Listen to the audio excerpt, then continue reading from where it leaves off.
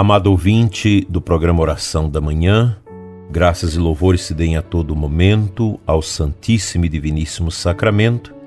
Iniciemos juntos o programa deste 14 de dezembro, dia de São João da Cruz. Em nome do Pai, do Filho e do Espírito Santo. Amém. Cresça no seu coração a alegria de poder ajudar os que sofrem Meditaremos no dia de hoje mais uma obra de misericórdia espiritual. Consolar os tristes. A Sagrada Escritura mostra como, ao longo da história da salvação, Deus se compraz em consolar seu povo. Relata que Deus o consola com a bondade de um pastor. Isaías 40, 11 nos ensina o seguinte: como um pastor vai apacentar seu rebanho, reunir os animais dispersos, carregar os cordeiros nas dobras de seu manto, conduzir lentamente as ovelhas que amamentam. Isaías 54, 5 Com o ardor de um esposo, pois teu esposo é o teu Criador chama-se o Senhor dos Exércitos, Deus Redentor é o Santo de Israel. Chama-se Deus, o Deus de toda a terra. Como é bonito ver que a Sagrada Escritura nos apresenta o nosso amado Deus como um Deus de ternura, que nos ensina a viver esta capacidade de consolar os outros e ser consolado por Deus. Jesus, por seu lado, anunciado como Messias da consolação de Israel, reconhecido como consolador, proclama: Felizes os aflitos, porque eles serão consolados. Quanta riqueza esta obra de misericórdia nos apresenta para a nossa feliz consolação em Cristo. O apóstolo Paulo, na segunda carta aos Coríntios, de 1 a 3, de 1, 3 a 5, ele nos ensina o seguinte: Bendito seja Deus, o Pai de nosso Senhor Jesus Cristo, o Pai das misericórdias, Deus de toda consolação, que nos conforta em todas as nossas tribulações, para que, pela consolação com que nós mesmos somos consolados por Deus, possamos consolar os que estão em qualquer angústia. Com efeito, à medida que em nós crescem os sofrimentos de Cristo, crescem também por Cristo as nossas consolações. Que bela palavra do apóstolo para o nosso crescimento na vivência e no conhecimento das obras de misericórdias espirituais. Todos nós temos nossos momentos tristes, angustiosos, de grande preocupação. Todos os dias a gente recebe uma infinidade de mensagens e pedidos de oração, as pessoas angustiadas, sofridas, às vezes sem esperança, carregadas de aflições. São muitas mensagens. Peço até desculpa às centenas de pessoas que me passam mensagem, eu não tenho como responder por questão de tempo, humanamente impossível fazê-lo. Eu apenas rezo por tantas pessoas atribuladas que pedem nossas orações tão pobres, tão pequenas, para o alívio das suas angústias, aflições e tristezas. É muito benéfico que todos nós tenhamos esta preocupação de consolar os que caminham na tristeza.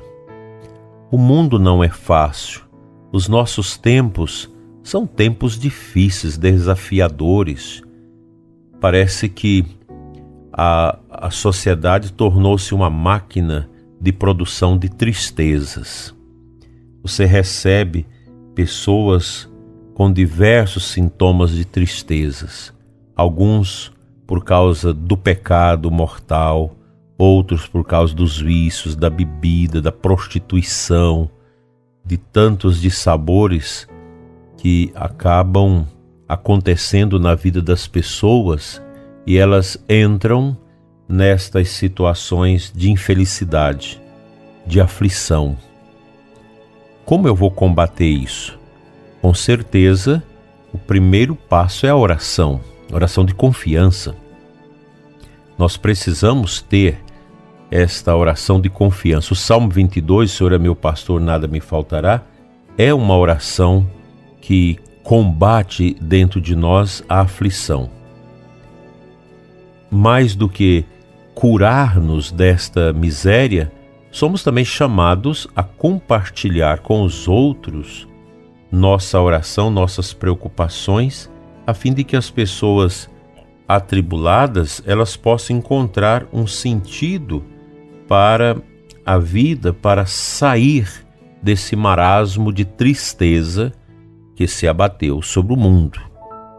Se você é uma pessoa frágil, qualquer notícia na televisão te sufoca, então não veja televisão.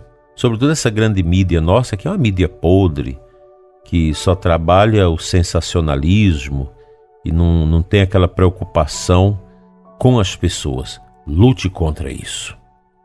Vá ao encontro de Jesus no Santíssimo Sacramento. Hoje, dia da gente fazer adoração, de visitar Jesus com todo o nosso carinho, com todo o nosso amor, com toda a nossa gratidão vai nos ajudar a curar-nos da tristeza e vai também nos dar força para ajudarmos quem está nesta situação deplorável. A tristeza é uma dor da alma que se externa no rosto da pessoa. A gente olha para as pessoas e você percebe quanta tristeza, quanta desolação em todos os lugares. No aeroporto você observa o povo, muitas pessoas tristes.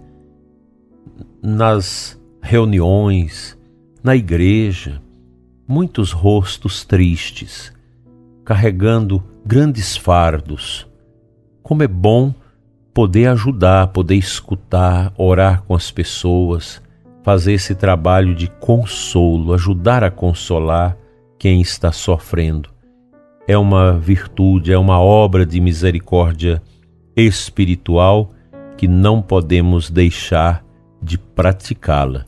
Vamos ajudar quem está triste. E se você, meu dileto ouvinte, é uma pessoa que carrega tristeza, aflição, eu te convido a visitar Jesus hoje, mesmo que você esteja com depressão, com dificuldade de sair de casa, levanta, levanta dessa cama sua Levanta com a coragem, diz para Deus: Eu aceito tudo que aconteceu na minha vida, o meu passado não vai me machucar mais. Vá ao Santíssimo. Chega lá, tenta rezar o texto, mesmo que a sua cabeça não esteja bem, mas tente rezar devagarinho, olhando para o sacrário, sentindo o olhar também de Jesus para a sua vida, para a sua alma, e eu aposto contigo que você levantará de lá uma outra pessoa. Faça isso não se deixe dominar pela tristeza, pela depressão, pela aflição. Essas misérias não podem coexistirem no coração de uma pessoa crente, de uma pessoa de Deus. Cristo nos deu os caminhos para a gente vencer tudo isso com a oração, com a adoração, com a libertação de nós mesmos de todas as aflições. Se Jesus te libertar, prezado ouvinte, você será verdadeiramente livre.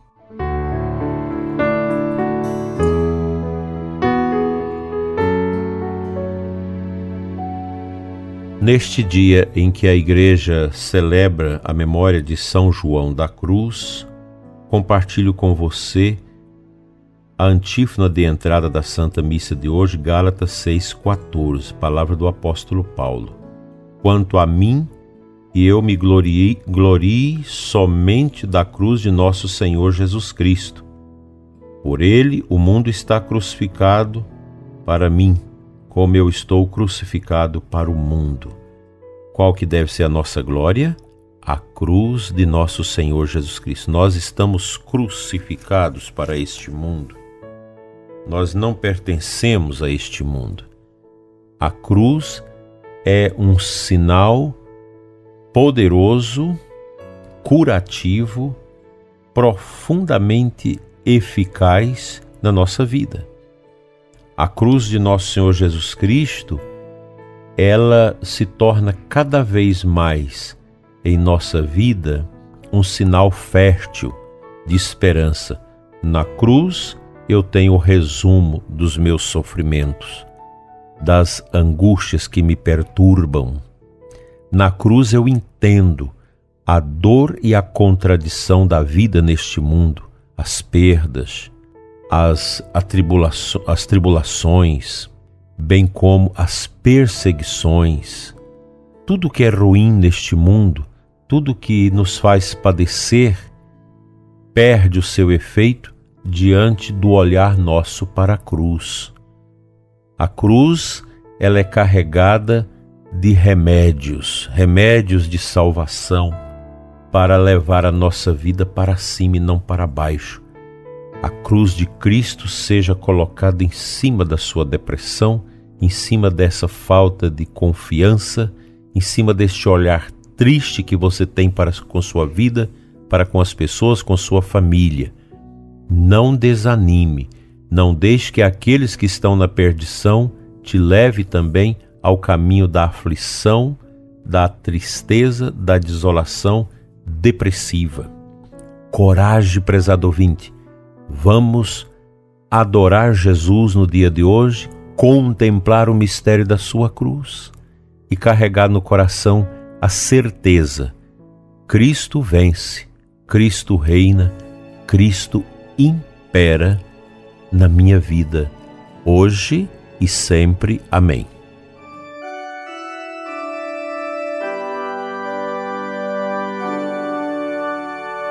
Pai Santo, Eterno Deus, Deus das misericórdias eternas, cura-nos da tristeza, da desolação.